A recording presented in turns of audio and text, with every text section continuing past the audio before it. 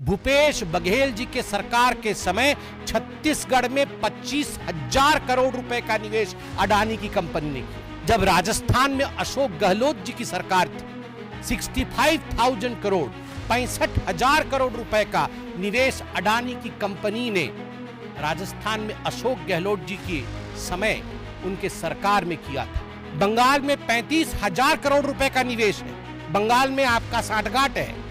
आंध्र प्रदेश में साठ हज़ार करोड़ का निवेश है। तमिलनाडु में फोर्टी फाइव हंड्रेड करोड़ का निवेश है। राहुल जी, आपने आज कहा कि अडानी के पीछे मोदी है।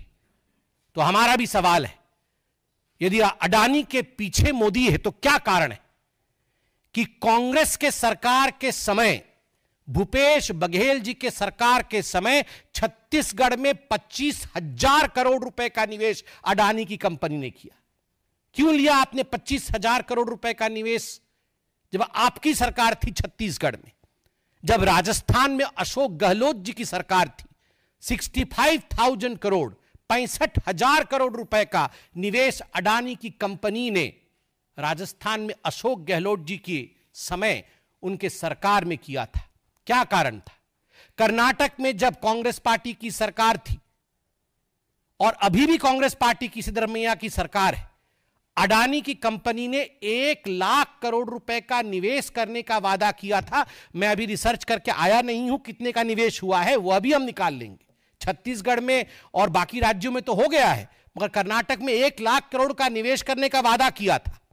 बंगाल में पैंतीस हज़ार करोड़ रुपए का निवेश है। बंगाल में आपका साठगांठ है।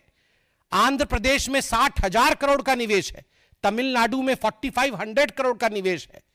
19 अक्टूबर 2024 को अडानी फाउंडेशन ने रेवंत रेड्डी, जो कि तेलंगाना के मुख्यमंत्री हैं, उन्हें 100 करोड़ रुपए उनके फाउंडेशन को डोनेशन दिया था कौशल विकास स्किल अपलिफ्टमेंट के लिए। क्यों लिया था डोनेशन? एक करप्ट व्यक्ति से आपने डोनेशन क्यों लिया? आपकी सरकार ने डोनेशन क्यों लिया? निवेश भी नहीं, डोनेशन लिया सौ करोड़ का।